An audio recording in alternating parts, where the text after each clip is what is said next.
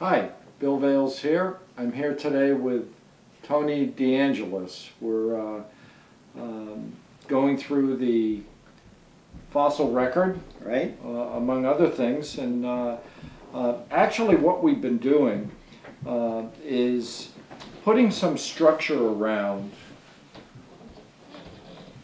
fossils when they occurred in the geologic time span Right. and other events that occurred uh, during uh, uh, the history of the Earth, uh, ra- rather than just saying, here's a fossil, here's a fossil, here's a fossil, sure. which in and of themselves are very interesting to look at. Mhm. Um, but have, having a little framework to um, to think about when things occurred, I I think makes a lot of sense. Oh, it does. Very, very, uh, very useful too, trying to understand what went on. Now, as you mentioned, Tony, uh, we're talking um, 4.6 billion years of Earth history. Mm-hmm. Okay, so we started in the Precambrian, 4.6 billion years ago. Right. And uh, we, we mentioned that the uh, geologic time scale has been laid out based on various events that Mhm. scientists have found over time Right. that um, occurred, different uh, species that have been found, Mhm. uh, locations where those species were found, um, different orientation of Mhm. the continents Right. Definitely. through um, Plate tectonics. through, through All plate tectonics, which is really a very, very important concept that I think we always need to keep in mind. Mm-hmm. Okay, when we're talking about uh, anything with geology, Right. uh, plate tectonics. Uh, okay, so we got as far as the Silurian period, Mm-hmm. okay, which is in the Paleozoic era. Right.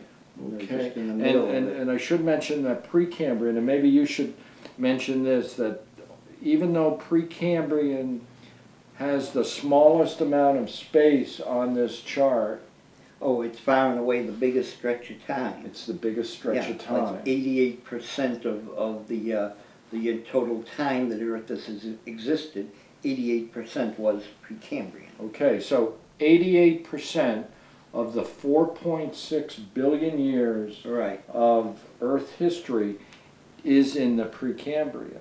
Yeah. Okay, So, over- but life was extremely simple then. Yeah. uh, if, if, if it even existed right, as we, right. as we know it. I mean, at best it was uh, single cell. But you did have some fossils that, that, um, and, and, and some artifacts that, that were relevant Yeah. Right. to, to each of those periods and what was going on in Mm-hmm. the period. Okay, so we're going to pick this up now in the Silurian period, which is about mid Paleozoic era. Right. Era being the larger, Yeah. The larger divisions. the larger division, and now we're in the Silurian um, uh, period. And uh, And at that time, everything was still marine. You have to realize. okay, marine life. Yep. And uh, I don't think plants had made it on there. And I have some examples here of, of stuff that is called graveyard, just for seabed, just for want of a better word. Graveyard. And it's very interesting because it's all kinds of, of uh, mixed fossils. I mean, you have some that have, I have one that has a little gastropod in it, and pelecypod and brachiopod shells, and uh, crinoid stems in great profusion because there were so many of them. So the, the graveyard stuff is great because with the little hand loupe, you can, you know, really study this stuff and look at so much. Um, and it gives you an inkling into what's there. The bivalves and the uh, crinoid stems and uh, you have bryozoans, uh, coral pieces. Um, This is loaded. oh yeah, and this is another smaller one that has very similar properties. It's just chock full of stuff. This is, this is loaded. Um, uh, oh, I see all the crinoid Right. um, uh, pieces. Now, we talked about crinoids back here in the Silurian, hmm um, and that being the Right. top part Yes. of the uh, crinoid. But what I'm seeing here are as if slices have been taken taken from this, and Well, a lot of it, what it, it is, is uh, if you look at this one, the stem the- is segmented. if you- Yes. And these segments break apart, so you have a whole lot of those uh, littering the sea floor. Wow, this is uh, very interesting. It's it's very interesting to note that uh, this small magnification, about maybe ten power, Mm-hmm. uh, is a great tool It for when you're in the field. This Oh, is yeah. really all you need. Yeah, you can't bring a microscope into the field Right. and do anything with it, Right. so these, these come in very handy. Yep, yep. And um, and and these are relatively inexpensive. Yeah, you right. know, a few dollars. Okay, so we have some. Um, Yep, graveyard examples of the um, uh, of the Devonian. right. Okay, and and some of this graveyard, Oh, yeah, overlap. you know, over, overlaps these uh, Mhm. areas, but it uh, overlaps these eras. Uh, uh, Periods. periods. Let's okay. use the right terminology. Periods, um, and it's interesting to note that when a particular species is no longer found, Yeah, that's probably due to an extinction event. It's probably due to an extinction event, and it also helps us determine the boundary of each of these. Right, well, that's it, that's how some of the indexing is done. Now, in the uh, Silurian to the Devonian are both considered uh, the zenith of the age of fishes, Mm-hmm. to put it into some kind of context. There were a lot of fishes coming out, bony and uh, even, uh, you know, non, uh, non-bony fishes, but they really uh, hit their zenith then. And during the Devonian is when land plants started to appear. And they were the cycads and ferns and stuff, and they were pretty primitive. But once, you know, you get past the Devonian and into the uh, Carbonif, then you get into the Carboniferous, which is where the big profusion of plants Mhm. occurred. And the Carboniferous is where all of our coal comes from, Yes. basically. Yes. And we discussed that before as the transition from, you know, the forest uh, stuff dying and forming beds of, uh, of plant material, and then later turning into peat, and then into lignite, and then bituminous, and finally anthracite coal. Anthracite coal. And uh, it's interesting to note here, and again, this is shown really nicely on this chart, Mhm. that uh, when we look at uh, any of these periods, the Devonian or Carboniferous, which we're talking about now, but we should look over at the orientation of the land masses. Yes, exactly. You know, that have been in the positions that they are now in, again, based on plate tectonics, Right. the forces of plate tectonics, moving, moving the uh, land masses around. We see here the North Pole, as we think of it, Mhm. has really shrunk in size, although it's a little bit bigger, actually, Mhm. than it was in the uh, Devonian, in the, in the Carboniferous. Mm. And we see That's where you got Gondwana. Gondwana Supercontinent. and Laurentia. Okay, Mhm. and um, and that was the orientation of that. So, in the in the Carboniferous, it's just such an interesting artist depiction Yeah, that they can put together Mhm. of um, the, the, the profusion of, of life at this time. And- Right, and in the Carboniferous, uh, is the first, um, once the plants sprung up, you had your first, uh, appearance of, uh, of land life in the form of insects, and that's when they had the three-foot, uh, you know, wingspan dragonflies, Mhm. and these uh, centipedes that were, you know, six feet long, and giant cockroaches and stuff. Yeah, So it was a kind of a strange time. Yeah, a great place to uh, see the results of, um, not the results, but to see some of this um, land as it was is in uh, Joggins in, in Nova Scotia. Right. hmm And uh, would you um, have any samples of fossils that would fit into the Carboniferous? Well, I have a whole selection of plant fossils here, and uh, many of them, they're almost all ferns, but I wanted to show you this one because it harkens back to the one you had, which was a Oh, nodule. And uh, when it was split, there was a nice fern inside. So here's a uh, beautiful fern. I think that's a Pecopteris, if I remember right. Beautiful fern fossil. That would go. Yep. I have a little Calamites stem, just a Okay. tiny piece. Uh, There's a calamites, and we can see the ribbing on the on the side of the calamites. Now I have a calamite. Oh, do you? I know. Let me, uh, because I've collected up at Joggins when Mhm. when you were able to. You you can't now, but this is a calamites That's gorgeous. that was collected Mhm. up at Joggins or in the, in, in the Yeah. area of Joggins. It, used to be that you could not dig in the cliffs, but anything that eroded from the cliffs you were allowed to pick up, but Mhm. um, they've since terminated that. Yeah. Although other, other fossil sites do allow you to still pick up what's eroding out of the cliffs. And oftentimes, digging in the cliffs is very dangerous. Oh yeah. I mean, you never know what could come down, right? But you can see on this calamites, good sense of that. Now, I happen to have from Joggins, and this I uh, uh, got at our Christmas swap at our rock meet. A friend of ours lives in um, Nova Scotia. I actually have a tree trunk. Whoa, man, that is This is pretty heavy. Yeah. That is an incredible piece. And showing the bark structure and everything.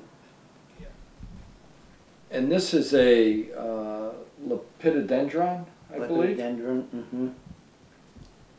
Okay, the interesting part of it is the, uh, Yeah, the bark uh, The- showing. the bark showing on that side. And that's fossilized. I won't put this on the, No, uh, it's a little big, but Sharp. that's nice. that it's a little, a little big. And then I have, that also fits into the, I have what looks like a lepidodendron in a lepidodendron, Mm, yes, right. which this That's kind of neat. Yeah. Joggins. That's a real neat one.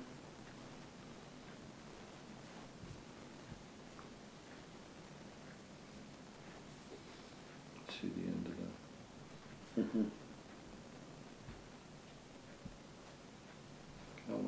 there. Well, we see here. Yeah, so I get this thing here that's a little, I think it's sigillaria back. Oh, look at that. Oh. A what? Sigillaria. Sigillaria. Yeah.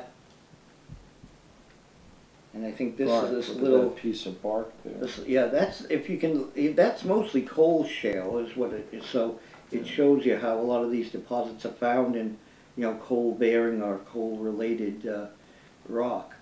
And this little sandstone here, this is an annularia, so it shows a little fronds. Oh, oh, look at the uh, detail. Yeah, so that's kind of, you know, that's where the, the use of the hand lens comes in, Angularia. and it's just real nice.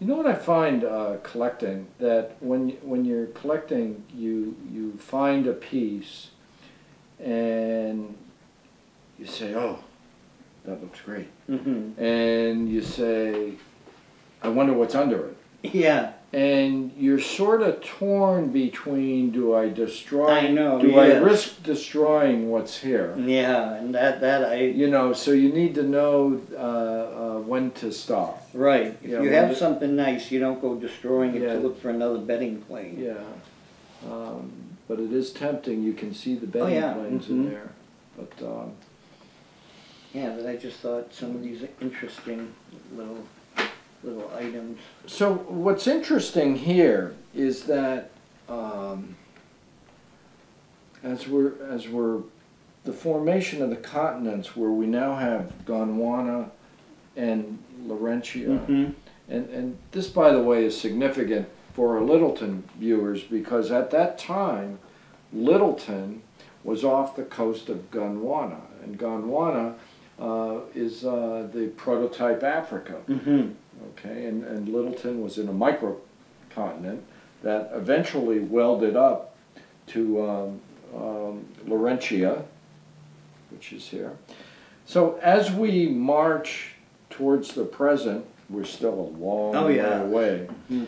We now see, um, here we are in the Permian, and we have, is that Pangea?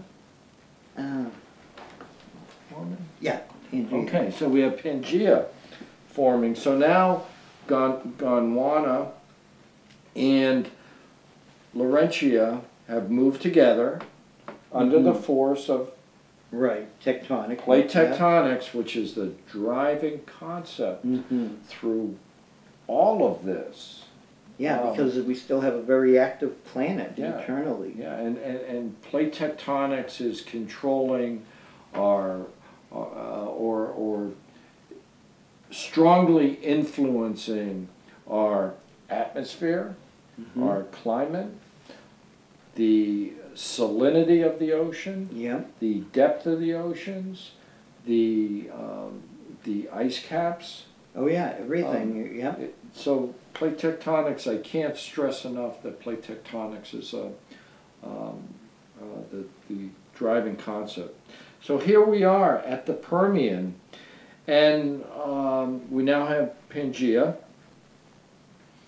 And um, we're, there's no dinosaurs yet. No, but the uh, P- uh, Permian was known basically as the age of amphibians into the Triassic, but uh, um, the Permian was mostly a- uh, marine life, but you did have amphibians coming out of the sea and onto the shore. And so that was the very beginnings of uh, the reptile. Yeah. And I notice here uh, that uh, in this chart that it shows that in the Permian we had a lot of foraminifera, Right. which are very small. Um, Yeah. Um, uh, like brachiopod, well, more like an ammonite Yeah. in, in, in, in how they look. But we do have some brachiopods here. I think I have a brachio. Oh, I happen to have a brachiopod Good. right here. That's in matrix. Oh, in Matrix, that's nice. Mhm. That um, um, somebody gave me this at the Worcester Minerals Show. Oh, wow. Um, one of the one of the people, um, um, frankly, has gotten overloaded with collecting. I things, see. If you can relate to that. Yes, I can Yeah, actually. Yeah. But this is a brachiopod, which, and, and, and brachiopods occurred. Well, they came. Uh, there were even some back into the uh, Silurian. Yeah. And, you know, but they they hit their height, I think, in the around the you know Silurian to uh, Permian period. There were a lot of them. Then you had coiled ammonites. You had the gastropods. Uh, you had all kinds of stuff. Coiled ammonite. Yeah. have a coiled Okay. ammonite Well, that fits right in up there. right there. Yeah. Nice example of a coiled ammonite. Mm-hmm. Fits there. And a few more small ammonites. Ammonites came in a variety of sizes, shapes, different species. hmm And of course, some collectors do polish their Right, sure. I ammonites, and these have right. been fossilized and uh, some sort of um, replacement of minerals. Makes a beautiful example. And I know you know I don't have any here, but I know you have uh, small fish fossils, which would also go in there, fit in there nicely. I do. Uh, It, it, uh, I have some fish fossils there. The probably my best fish fish fossil um, I won't be able to place um, until several months from now because it's actually up in Oh, the okay, Cenozoic, yeah. which is Mhm. going to be way up Way there. up there, right?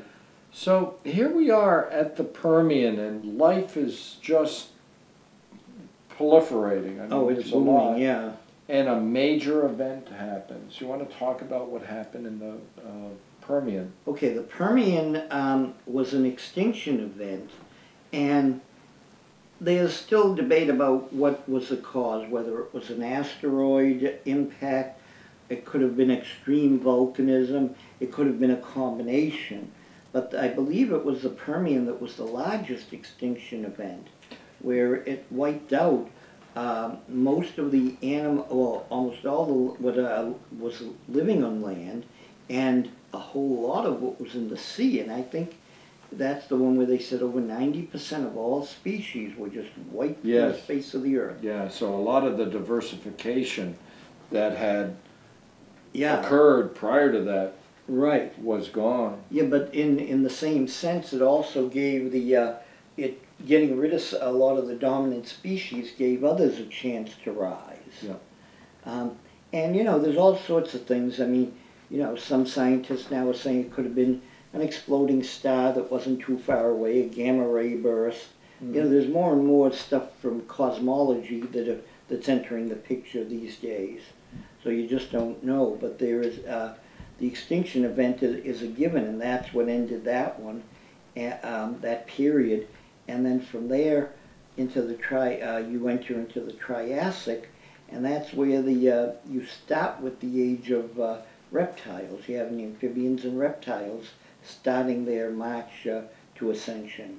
hmm And um, and of course, the age of reptiles. That's what Yeah. you know. That's the you know those are the dinosaurs. Yeah, the culmination Yeah, of that's- everything is the dinosaur eras. Uh, uh, that's the dinosaurs, and uh, again, keeping our eye. You know, when you think about all this, all these different life forms now, and what's going on in the world, keep in mind the position of the continents, where the continents were, what role is plate tectonics playing in the uh, life that's that that's arising, and uh, uh, the climate, the atmosphere. Think about where the where Right, the right. Um, uh, where the uh, continents I are mean, by then, you know, you had pretty much oxygen-rich atmosphere because starting with uh, way back when the first plants appeared, even before that, you know, the blue-green algae and stuff uh, that were in the waters were producing oxygen.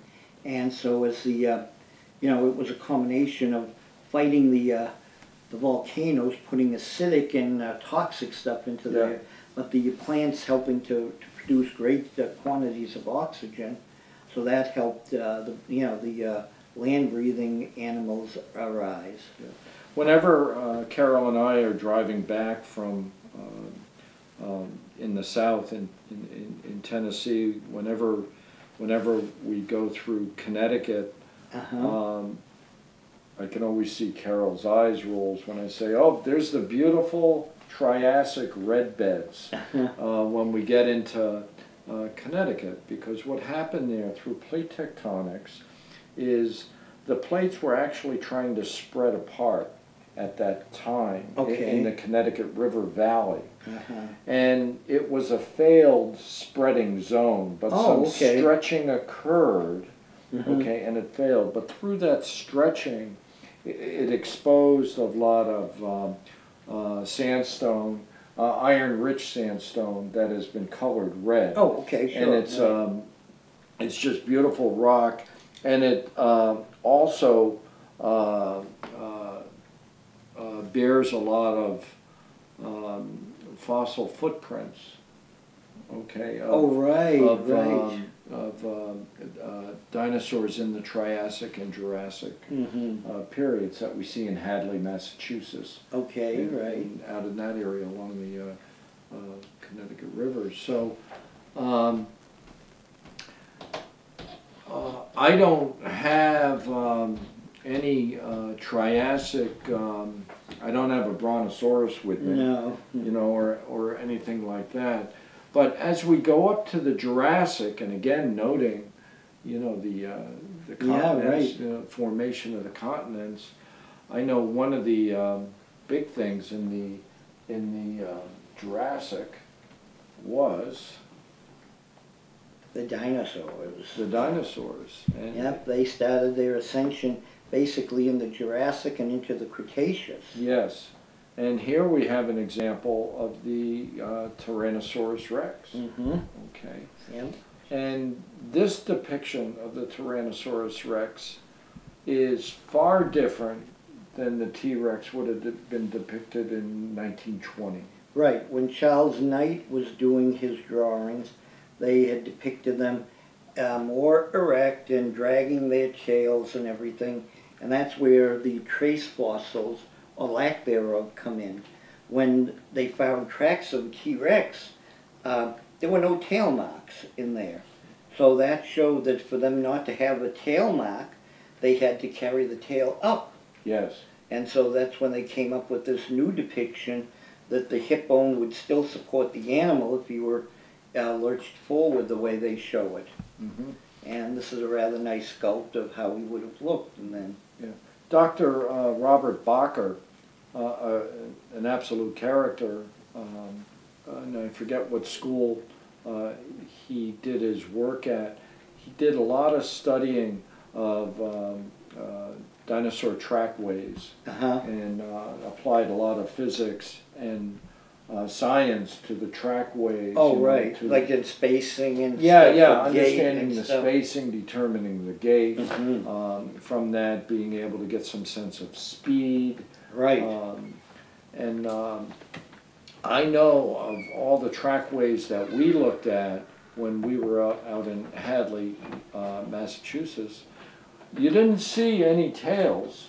right. You know, now that's not to say that the tails, uh, uh, tail marks may have been eroded away or whatnot, but um, um, uh, it, it was interesting to see all the all the work done on trackways there. Right. Now, I'm gonna.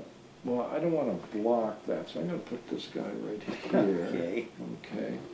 And what is interesting to show is this, which is from the Jurassic as well. No, Cretaceous. Uh, uh, Cretaceous. yeah. T-Rex was Cretaceous. Allosaurus was in the Jurassic. But Yeah. T-Rex was in the Cretaceous. So, do you mean Jurassic Park?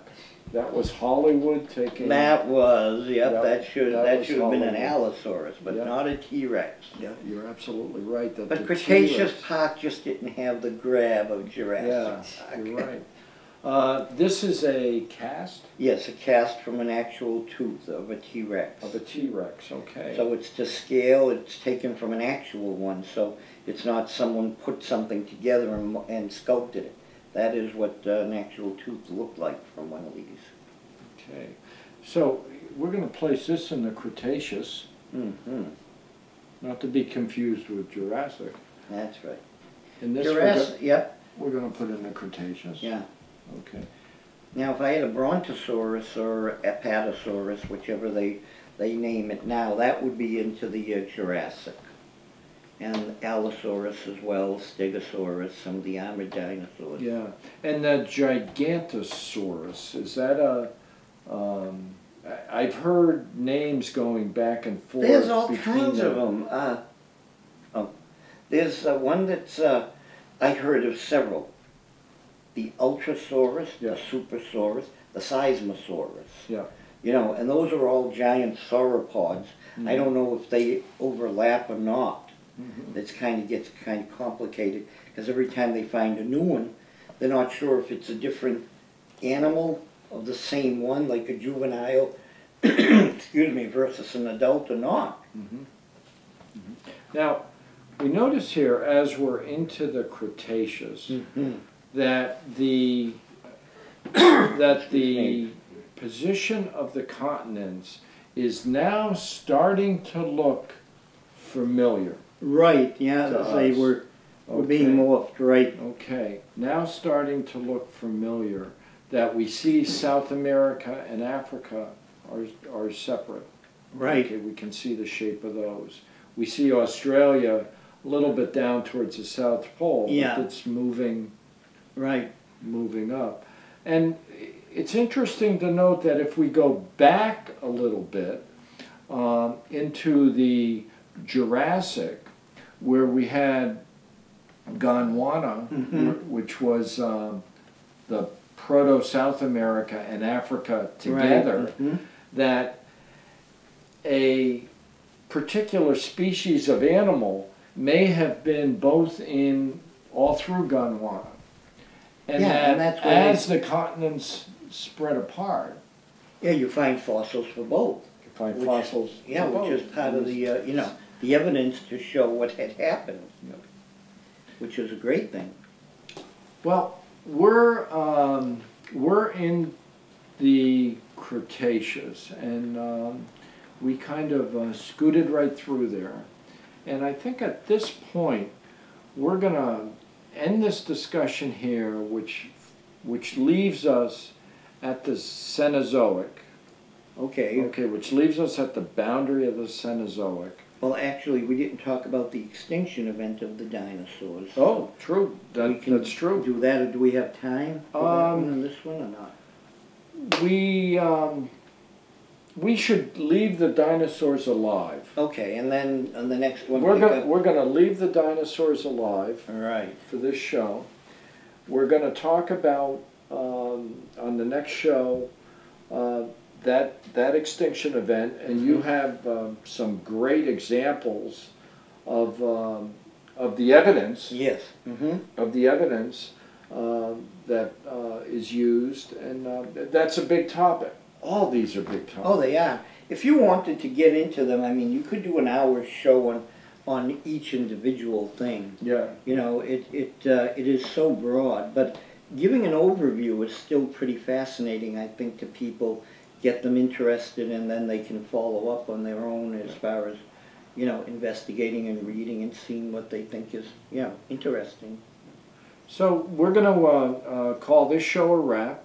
We're going to uh, leave the dinosaurs alive, and the Great. next show we're going to dust them off, Yep, and we're finally then going to enter the Cenozoic and, and hopefully the more recent Ice Age, which is going to alter our chart a little more yes, in terms of the gradations right. that we're going to add to it. But at this point, um, thanks very much for this. You're very welcome. Okay, and I hope you all um, found this informative. I find it absolutely fascinating, and uh, we'll look for you next time on Littleton Rocks.